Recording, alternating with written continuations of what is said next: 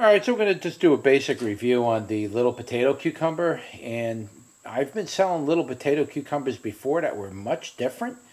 And so I, I took those down from my website. The page is still there, but I stopped selling the cucumber seeds for those because they're very different than what you're looking at right now. Those cucumbers were more like a round little ball, and they were very white in color with the crackly effect.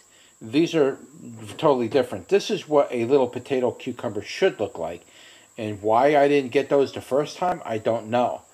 But I decided to grow seeds directly from the seed packages again, and this is what came out. And so I did a little research on it, and basically this is what a little potato cucumber should look like. So let's uh, let's give you a little bit of a better look at it.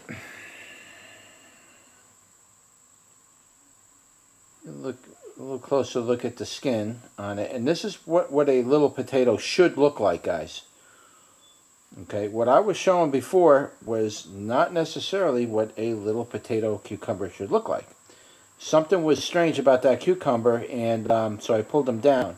So if you did buy seed for that, consider yourself lucky, because I'm not selling the seed for that no more until I can grow that out again and then see exactly if it's coming true, or was that some kind of a hybrid.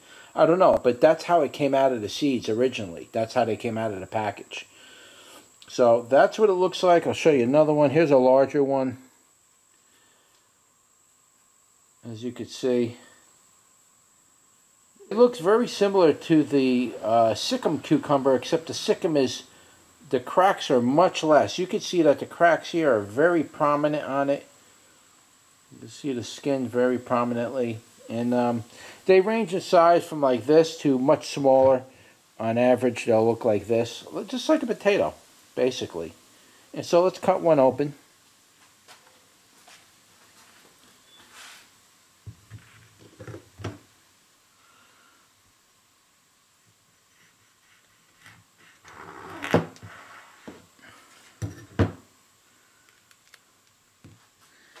I'll show you the inside.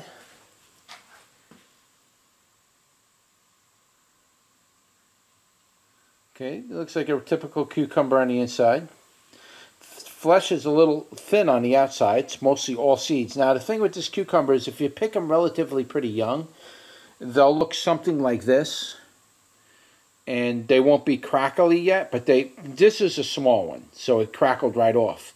But if you get to these before they start to turn crackly, uh, the seeds don't fully develop like you see in here and you can eat them very easily. So once they get developed like this, you really can't do anything other than to collect the seeds and maybe eat the, the rind, and that's really it. And that's all you could really do with them. But um, here, I'll show you the other side. But that's that's what it looks like. Okay, so let's uh, cut a piece off and do a taste test. I'm obviously going to take the seeds out no point in me trying to eat those because they're fully developed seeds. Kind of hard to cut into. It's like cutting into a dinosaur.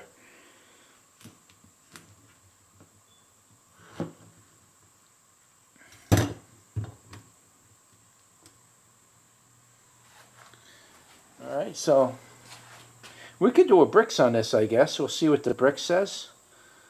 Now, it's not going to be any sweetness, but the it, Brix doesn't just pick up sweetness; it also picks up the mineral content within the. Um, it picks up the minerals inside of there too. So if it's highly mineralized, it'll pick that up. So it's not going to be sweet, but let's see what it does anyway.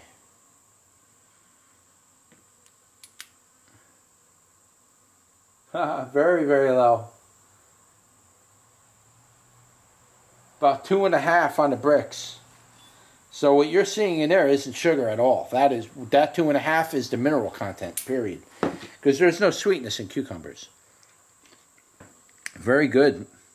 Even fully, uh, even as it's fully ripe. I mean, this thing, guys, is you shouldn't be eating them like this. I mean, it's not going to kill you, but you're supposed to eat them when they're much younger. But let me eat a couple more pieces and. Uh, okay, so basically at this stage if you eat them younger, they're going to pretty much taste like a regular type of pickle or cucumber. But if you eat them at this stage, they're really going to re-ripen and the flavor of that is really going to intensify. So the seeds become very bitter and more bitter than any other part of the cucumber. So it's very tardy, should I say. You kind of want to pu starts puckering up your mouth. But if you just stick to the rind and scrape out all the gel from the seeds and everything, the cucumber itself has a very nice smooth flavor. The skin, even though it's kind of on the rough side, it really um, it really breaks up nice with the rest of the cucumber. It's very easy on your palate. The skin might be a little bit on the rough side, but in general, it's it's pretty easy to eat. It breaks up pretty nicely. But the skin, in some cases, for some people, might throw them off. So you might want to peel it first. For me, I like the skin. It's nice to eat that. It's nice and rough. It actually kind of scrubs your tongue a little bit. It's so um, abrasive like. And even my knife is having a hard time cutting through the skin. Either that or it's dull from cutting tomatoes. But um, it's a nice cucumber, guys. I mean, this is definitely uh, a fun cucumber to grow. It's very productive. I mean, I probably got about 25 or 30 of these cucumbers already off of there. And um, I'm starting to eat them young now. I'm, i got enough to get seed from it, so I'm eating all, all the uh, cucumbers now young. I'm not letting them mature anymore. So that's it. That's uh, just a quick look at the little true little potato cucumber. And I will offer seeds to this true version of it on my website. I'll leave a link it below in the description. I'll also leave whatever information I can get on the little potato cucumber in the description.